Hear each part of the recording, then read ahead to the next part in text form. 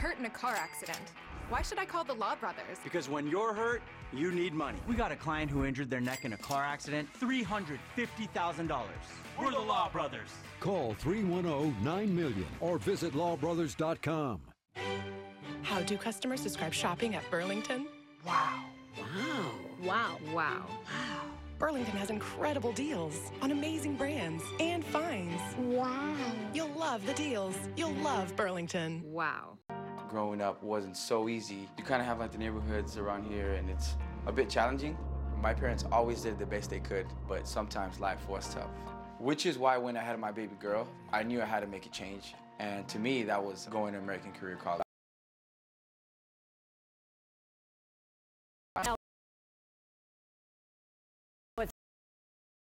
Three o'clock, President Joe Biden just got a tour of storm damage.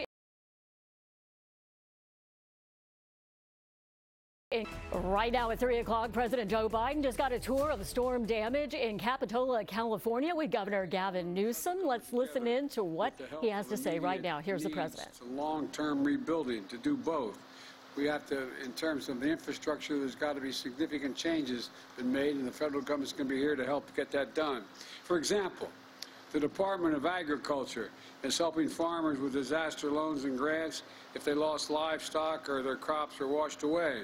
The Small Business Administration, and some of you with me when I just went through the small business along the piers here, it's devastating what happened. But they're going to get help. Help local businesses with low interest loans so they can recover. And now, if you have, if you don't have insurance, or if you're underinsured, FEMA is going to get you started on home repairs replacing lost or damaged property like cars or refrigerators, things inside the home that'll be able to be replaced quickly. To apply for assistance from FEMA, you can go online to disasterassistance.gov. Disasterassistance.gov.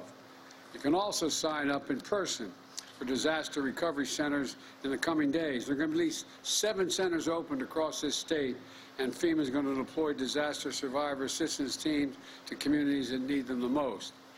We can go to the FEMA website to find that location. And look, as I've said on other disasters, the key is not just building back, it's building back stronger. Just because since I became president, we've spent $9 billion in disaster assistance to California for the extreme weather events they've had to go through.